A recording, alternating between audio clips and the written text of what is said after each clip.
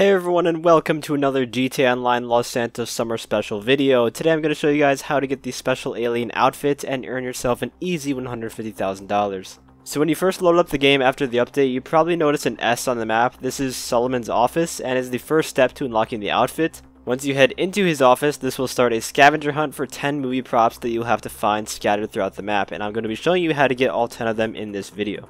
The first one is located literally right outside of the office. You want to head down these stairs and then look to your left and it'll be right here in this corner. Not very hard to find at all. Prop number 2 is located in the back of the High Heels building. You want to knock out the bouncer and then close the place down so you can have access to the back. And it'll be on top of the desk that is against the wall.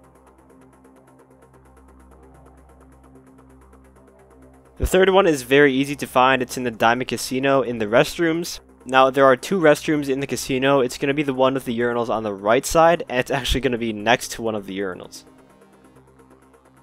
For the fourth prop, we're going to head up to Sandy Shores. This one is near the hippie camp where the UFO is in single player. The fifth movie prop is located west of that location. You'll find it on the porch of this house right here. For this next one, I would advise you to get either a Buzzard or an oppressor mark II and use the bribe authorities if you do not own the hangar inside the military base. It's positioned inside the air traffic control tower of Fort Zancudo. Right when you walk in, you'll be able to see it on the top of the cabinet. Prop number 7 is in the Altruist camp. You really want to just swoop down and grab it because they will shoot at you if you're out there dawdling around.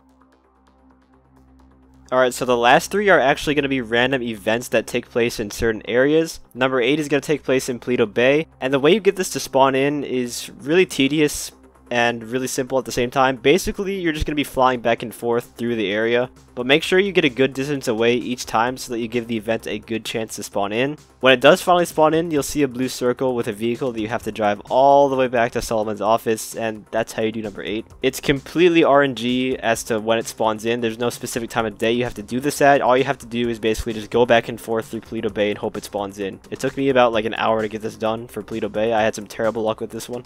Number 9 and 10 I'm going to group together because the events are relatively close to each other. One of them is going to take place between Lester's warehouse and the market area that I'm showing on the map right now. So basically you just want to fly in between those two areas, again making sure you leave enough distance each time you pass them for the event to spawn in. I found mine driving on the road in between the two, and then from there it's as easy as stealing and driving it to Solomon's office.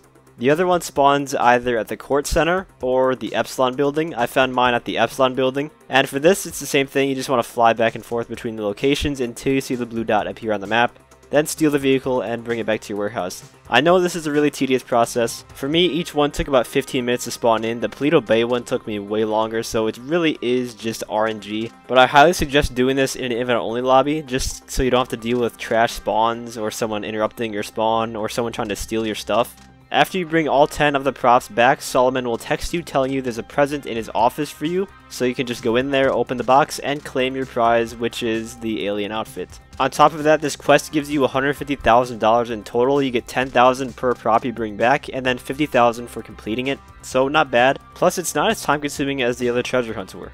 But that is going to be all for this video. If you guys enjoyed or found it helpful, feel free to leave a like as well as subscribe to my channel for more guide and PvP related content. And as always, thanks for watching and have a great day.